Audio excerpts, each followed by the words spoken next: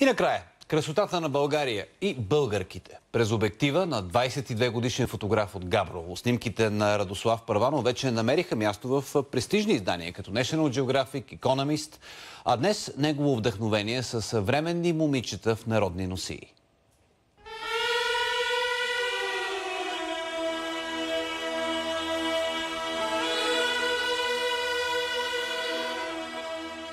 Радослав е студент в Техническия университет, но проектите му са фотографски, а не инженерни.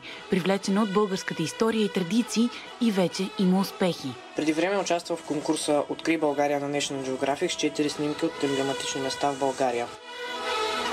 За Радослав фотографията не е просто хоби, а начин на живот. Сега популяризира красотата на България с момичета, облечени в народни носии.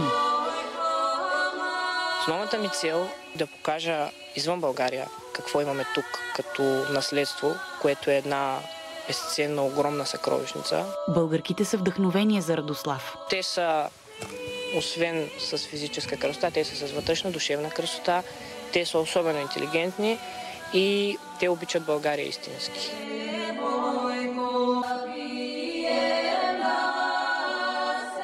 Важно е и мястото на заснемане. Няма значение дали е популярно или не.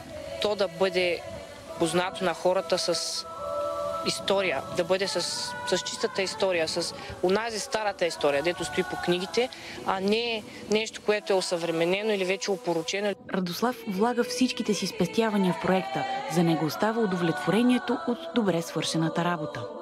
За мен по-важното е, че трупам вътрешната красота на местата и на момичетата. И запечатвам мигът, който разказва за мястото, който разказва за традицията, който разказва за самата красота. Радослав вече е към края на своя проект. След като обиколи Пловдив, Габрово, Велико Търново, София, Мелники и Копривщица, е готов да създаде албум с снимките на момичетата, както и първа самостоятелна изложба.